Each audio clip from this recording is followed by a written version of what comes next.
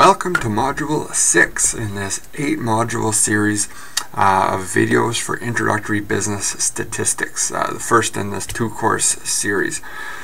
This module now we're going to be looking at uh, continuous probability distributions. You may recall from the first module where we started to talk about different types of data, uh, different measurement scales that gave us you know, some idea of the amount of information contained in different variables. And we differentiated between discrete variables and continuous variables. While Module 5 was entirely focused on those discrete variables and their probability distributions. Now Module 6 we focus our discussion on continuous probability distributions of continuous variables. So here we're going to look at uh, really four different types of uh, probability distributions. One will be the uniform distribution. Another will be the normal distribution. Probably the most commonly used and I, I would guess the, the most understood uh, of the continuous probability distributions. We'll look uh, at a, an application of the normal. This will be normal approximation of binomials. Remember we talked about binomial distributions in uh, chapter 5. Well here we'll see how we can approximate binomial distributions or binomial probabilities using the normal distribution and we'll also look at exponential uh, probability distributions. Now, one of the big differences that we're going to see between the discrete probability distributions and the continuous probability distributions is when we were looking at discrete variables, we, we had functions f of x equals some function, and these were probability functions. So we could enter in some values to that function, and the result could be interpreted quite literally as the probability of x events occurring. So it was giving us specifically a probability. What we're going to be looking at now with all of the continuous probability distributions, we'll still have a function that is denoted f of x, but now this is a probability density function. And so what it's giving us now is no longer going to be a probability. It's going to be giving us a probability density. It's a little bit difficult to interpret specifically what that is, but when we want to calculate probabilities, what we're going to be doing now is looking at the area under a curve. So let me just quickly show you what that means. If we consider a uniform probability, distribution. We had a discrete version of this uh, where any particular probability was equal to 1 over n. So every possible outcome had an equal probability of occurring. This is like the rolling the dice or the flipping the coin example. We can also have a, a uniform distribution uh, in a continuous variable and it would look something like this where here we have the density function, not the probability anymore, and let's say that a uniform variable is distributed between the values of uh, let's say we talk about the length of my videos. Maybe my videos are uniformly distributed.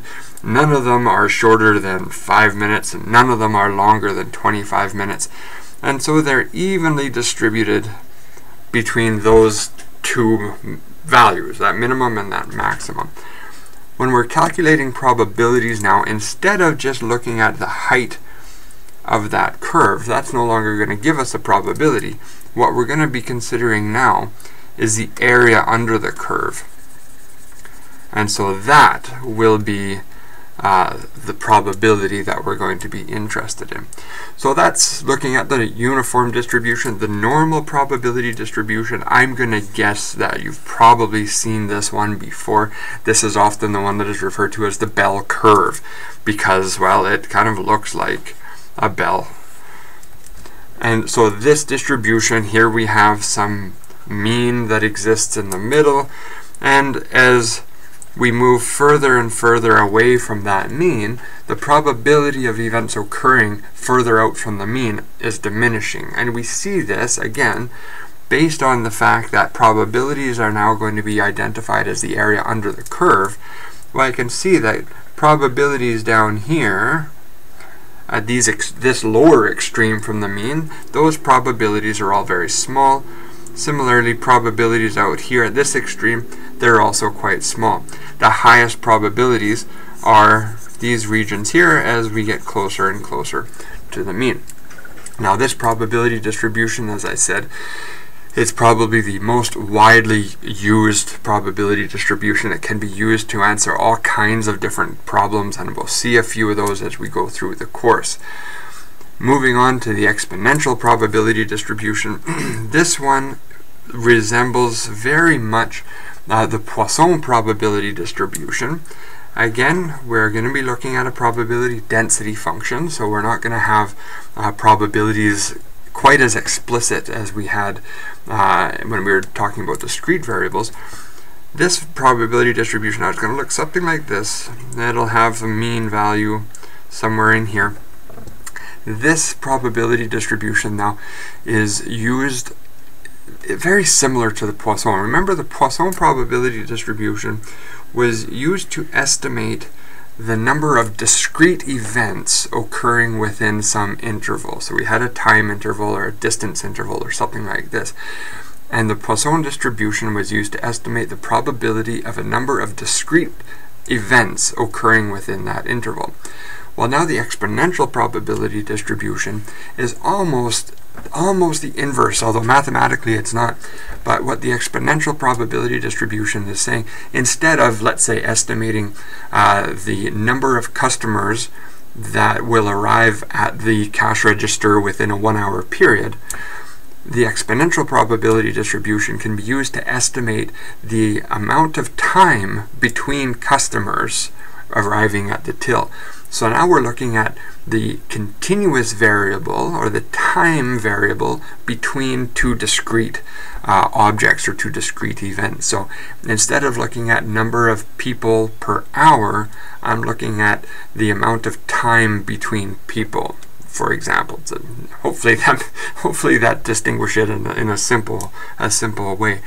So we'll actually see in one of the problems uh, that I've put together we'll see how we can sort of move between the Poisson distribution and the exponential probability distribution and hopefully we'll see how those are related. So that's it for this module. We're going to go through just these, um, really just these two distributions because these are both applications of the normal distribution and in fact they're both going to be related to the standard normal distribution uh, which is you'll you'll be using this distribution probably for the rest of your statistics uh, um, education. It's exceedingly common. So hopefully the, all of this stuff will make sense to you. Uh, and uh, again, it's it's laying a foundation for what is to come. So I, I hope that uh, I'm able to to accurately and, and and clearly explain all of these different concepts because you're going to be using them uh, quite a lot in your business education. Okay, thanks for watching. Uh, let's get started on some problems.